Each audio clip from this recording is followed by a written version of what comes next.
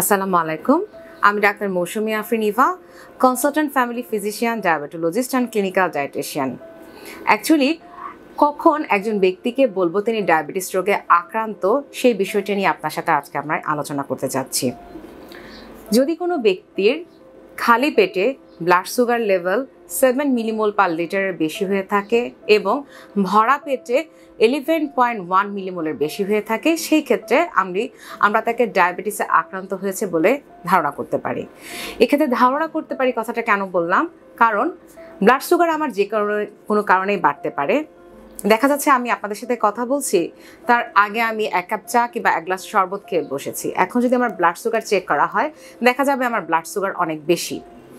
যখন কোনো পেশেন্ট হসপিটালে ভর্তি হচ্ছেন, তখন তাকে ইনফিউশন অনেক সময় ডিএ বা ডিএনএস দেওয়া হয়ে থাকে। ওই ভেন থেকে যদি তার ব্লাড সুগার পিক করে ব্লাড সুগার চেক করা হয়, দেখা যাবে তার ব্লাড সুগার বেশি। তাছাড়া বিভিন্ন রকম স্ট্রেসফুল কন্ডিশনে ব্লাড সুগার বেড়ে যেতে পারে এবং বিভিন্ন অ্যাকুইট ইনফেকশনের ক্ষেত্রেও ব্লাড সুগার বেড়ে যেতে পারে। এতে গেল ব্লাড সুগার কখন বেশি হচ্ছে বা কখন আমরা ডায়াবেটিসে আক্রান্ত হচ্ছেন বললাম। যদি খালি পেটে কোনো মানুষের blood sugar level five point five millimole per লিটারের কম থাকে, সেই ক্ষেত্রে আমরা বলতে পারি তিনি আদৌ এখনও ডায়াবেটিসে আক্রান্ত নন। এর পাশাপাশি আরও দুটি বিষয় নিয়ে আপনাদের সাথে কথা বলতে চাই। একটি হচ্ছে ইম্পেয়ার ফাস্টিং গ্লুকোজ আরেকটি হচ্ছে আইজিটি বা ইম্পেয়ার্ড গ্লুকোজ টলারেন্স এখন ইম্পেয়ার্ড ফাস্টিং গ্লুকোজটা কি? যদি কোনো ব্যক্তির খালি পেটে blood sugar level six point one থেকে six point nine millimole per litre হয়ে থাকে, সেই ক্ষেত্রে রুগীকে এখনই সচেতন হয়ে যেতে হবে, কারণ তার ডায়াবেটিস ডেভেলপ করার সম্ভাবনা অনেক বেশি। পাশাপাশি ভরা পেটে যদি কোনো ব্যক্তির blood sugar level seven point eight থেকে eleven point one millimole per litre হয়ে থাকে, সেই ক্ষেত্রেও অবশ্যই আপনাকে সচেতন হতে হবে।